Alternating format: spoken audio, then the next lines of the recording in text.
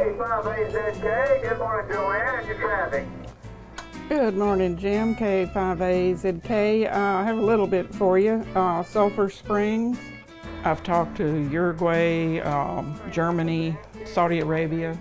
It's one of the oldest questions about humans. Why do we like what we like?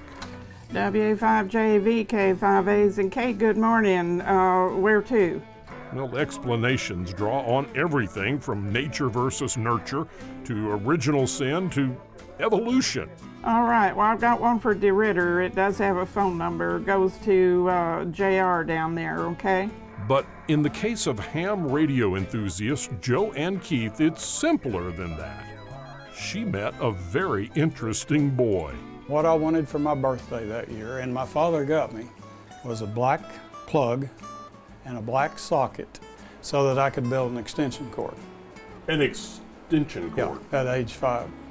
John Keith's been tinkering with electronics as long as he can remember, starting with homemade extension cords and graduating to Hellfire missiles and weather satellites. And even as a young man, he knew his future wife would have to be okay with his unique talents. Is it safe to say he changed your world? Uh huh. he did. Is that a good uh huh? Oh, well, it depends on who you're talking to.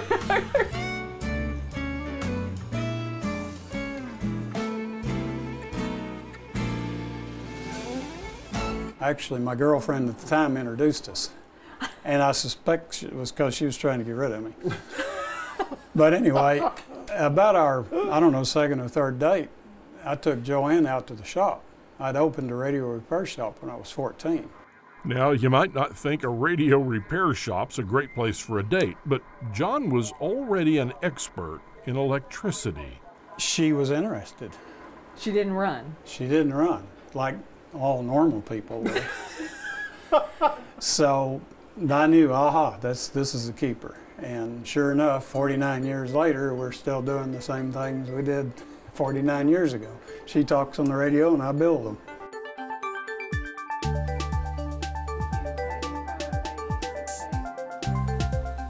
Well, it's been half a century of ham radio since John and Jo Ann Keith fell in love. And everything at their East Texas home signals that this is an obsession. They have their own 70 foot radio antenna, an electronics workshop, two broadcast rooms, and even vanity license plates with their call signs on them. I'm on usually three to four hours a day, uh, six days a week. Jo Ann runs what's called a traffic net. Her group meets over the airwaves at specific times to pass along messages as a public service. On our net, we have medical doctors, uh, PhD doctors, uh, judges, farmers. It's just the average person that gets interested in it. Back during the Vietnam War, Jo Ann's traffic net and many others relayed messages home from deployed soldiers. And these days, even with a cell phone in every pocket, amateur radio operators are still saving the day when disasters take out our modern methods. When Hurricane Katrina or Rita or one of those blew in, were you here helping people? There was shootings in the hospital, mm-hmm. and we were able to get word to the authorities there in New Orleans, I guess it was. Wow. And got them help. It was ham radio operators mm-hmm. who. Yeah, we notified because there wasn't any other communications. You know, and that's the beauty of the amateur radio, is it's still there. It takes no infrastructure whatsoever. You take a box this big that's a radio, you hook it to a speaker and string out some wire and you're able to communicate. And since ham radio could be our last resort in an emergency, we thought learning how to do it was a sound idea.